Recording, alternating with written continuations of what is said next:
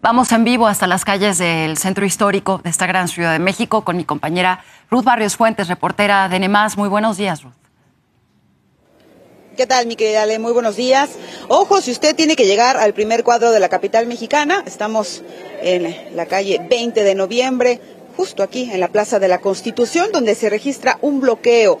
Se trata de indígenas que están exigiendo temas de vivienda y también pues una mesa de diálogo con las autoridades. Algunas de las alternativas viales, si es que tiene que llegar al primer cuadro en automóvil, la calle 5 de Mayo, o pues eh, también pues caminando, que es una de las opciones preferentes.